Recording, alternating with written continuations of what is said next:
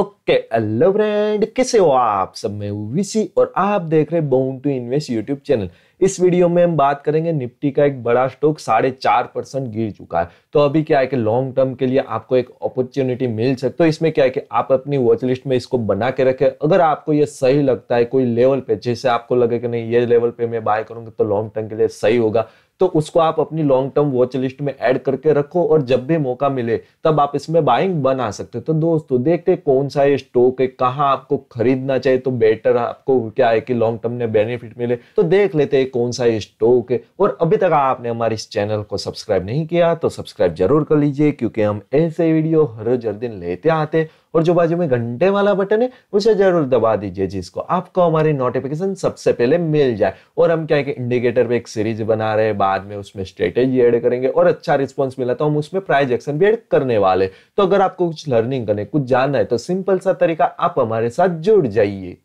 तो पहले हम इस कंपनी के थोड़े फंडामेंटल देख लेते तो आपको आइडिया आए कि ये कंपनी कैसी है। तो जो ये कंपनी है, वो एक्सेलेंट क्वालिटी की है। Excellent quality by management race growth and capital structure for long term investment अब हम इसकी सेल्स के बारे में बात कर ले तो इसकी सेल्स है एवरेज सेल्स पाँच ईयर की जो है 34.76 परसेंट की इसकी सेल्स है बाद में ईबीआईटी e ग्रोथ देख लेते हैं, वो भी एक अच्छी है 35.02 परसेंट की ईबीआईटी e ग्रोथ है। अब हम इस कंपनी के पी वैल्यूएशन वगैरह देख लेते हैं। जो हाल फ़िलहाल का इसका वैल्यूएशन है, वो अभी वेरी एक्सपेंसिव वैल्यूएशन पे ट्रेड करा है, लेकिन इसका मतलब ये नहीं होता कि ये एक्सपेंसिव ये अपने हिसाब से एक्सपेंसिव बताता है। और अभी मार्केट में आप जाओगे तो अच्छी कंपनी अच्छे वैल्यूएशन पे ही मिलती है। तो आप अगर इसमें वैल्यूएशन के हिसाब से देखो तो एक्सपेंसिव है, लेकिन इतनी ज़्यादा भी एक्सपेंसिव नहीं है। मतलब एक अच्छी कंपनी है तो एक्सपेंसिव पे ही मिलेगी आपको। बाद में पी रेशियो देख ले तो 51.09 परसेंट की इसकी पी रेशियो है। इविट टू इबिटा ग्रोथ देख ले तो 21.98 परसेंट की इसकी इविट टू इबिटा ग्रोथ है। बाद में आर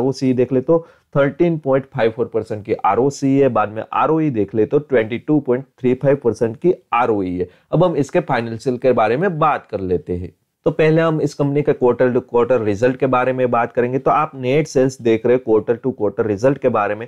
तो 48.34 परसेंट की अपसाइड दिखाई दे रही है, जो एक अच्छी बात होती है। बाद में इसमें नेट प्रॉफिट देख लेते तो नेट प्रॉफिट भी 63.11 परसेंट की इसमें अपसाइड दिखाई दे रही है, जो भी एक अच्छी बात है। बाद में क्या है कि नेट प्रॉफिट मार्जिन देख ले तो जिसमें 1.05 परसेंट की डाउन देखने को मिले।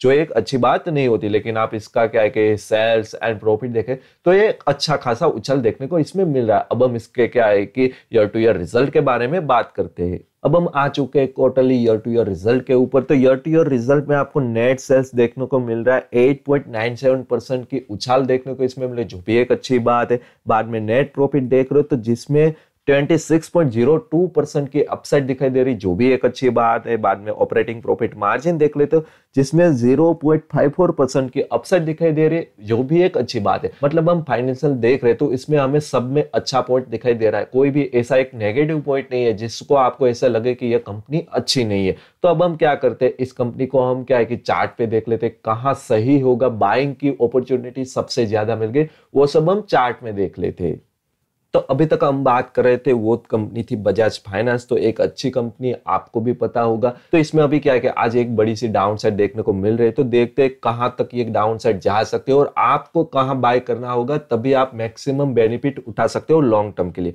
तो ये मेरे सपोर्ट एंड रजिस्टेंस होंगे। तो एक बार आप अपनी भी खुद की एनालिसिस कर लीजिएगा। तो जहाँ पे हम खड़े जो प्राइस है, वो कितने के तो वो प्राइस एग्जैक्ट चार हज़ार तीन की आ रही है मतलब हम चार हज़ार ही मानते तो अभी जो हाल फ़िलहाल प्राइस वो है चार हज़ार। तो अगर इसके नीचे देखें तो हमारा पहला सपोर्ट कौन सा होगा? तो हमारा पहला सपोर्ट होगा, वो होगा एक मूविंग एवरेज जो है हंड्रेड डेज़ की moving average simple moving average है। तो हंड्रेड डेज़ की सिंपल मूविंग एवरेज होगी, जो आ रही है अड़तीस सौ उनसाठ पे मतलब अड़तीस सौ साठ पे ही मानते हैं। तो अड़तीस सौ साठ पे अगर ये आपको कोई रिवर्सल जाने के बाद प्रॉपर अपसाइड जाने का कोई सिग्नल देता है, तब आप इसमें बाइंग अपॉर्चुनिटी बना सकते हो, लेकिन अगर लॉन्ग टर्म के लिए तो थोड़ा और नीचे का वेट कीजिए। तो आपको वहाँ पे भी अपॉर्चुनिटी मिल सकती है, क्योंकि ये देखो, ये लेवल आ रहा है वो भी आगे एक बार सपोर्ट ले चुका है तो मतलब ये लेवल इंपॉर्टेंट मैं इसीलिए ले रहा हूँ। वैसे भी तो मैं क्या है कि ये हंड्रेड डेज़ की मूविंग एवरेज पे कोई सपोर्ट लेने की देखता नहीं हूँ, लेकिन क्या है कि इधर आगे एक सपोर्ट आ रहा है मतलब आगे उसी लेवल के आसपास से एक बार ऊपर जा चुका है।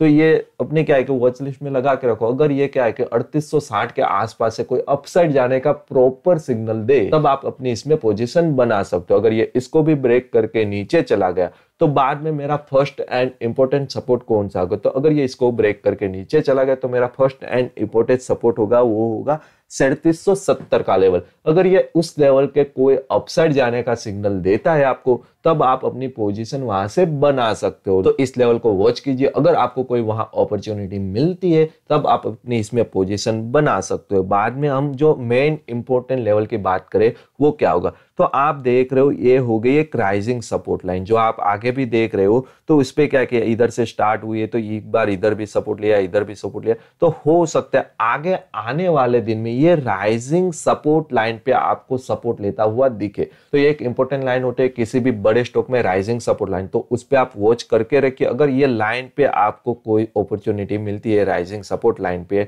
तो ये इसकी कोई वैल्यू नहीं होती। ये क्या है कि जैसे स्टॉक मूवमेंट करता है, वैसे चेंज होती जाए।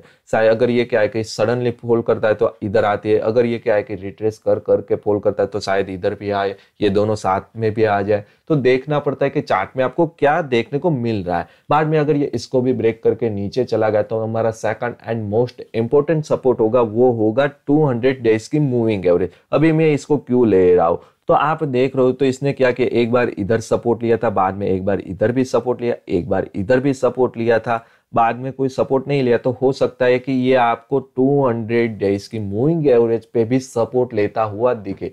तो ये अपने मूविंग एवरेज क्या है कि एक बार 200 की इस स्टॉक में आप लगा के रखो, क्योंकि मेरे को पर्टिकुलर ऐसा लग रहा है कि बजाज फाइनेंस के लिए 200 डेज़ की मूविंग एवरेज इंपॉर्टेंट है, क्योंकि आगे भी हमने देख चुके हैं इसीलिए।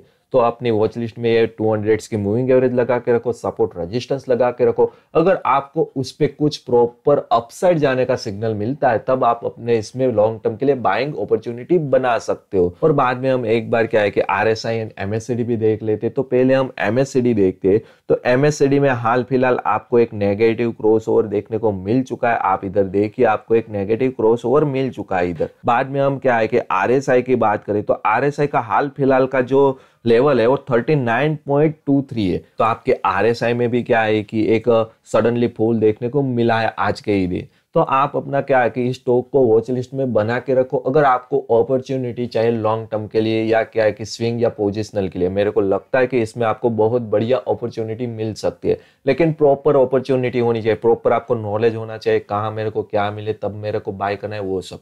तो दोस्तों, ये वीडियो आपको कहीं से भी अच्छी लगी हो तो प्लीज़ यारो लाइक कमेंट एंड सब्सक्राइब कर देना। आप लाइक कमेंट करोगे तभी तो हमें मोटिवेशन मिलेगा और ऐसे वीडियो आगे लेके आएँगे। सो प्लीज़ यारो लाइक कमेंट एंड सब्सक्राइब कर देना। और हम क्या है कि इंडिकेटर पे एक सीरीज़ बना रहे हैं, बाद में उसमें स्ट्रेटेजी ऐड करेंगे और बाद में हम उसको अच्छा लगा अच्छा रिस्पॉन्स मिला तो हम इसमें प्राइज एक्शन भी ऐड करने वाले हैं। तो अगर आपको कुछ लर्निंग करने, कुछ जानना है तो सिंपल सा तरीका आप हमारे साथ जुड़ जाइए। चलिए मिलते हैं अपने नेक्स्ट वीडियो में। तब तक के लिए टाटा गुड बाय जय हिंद।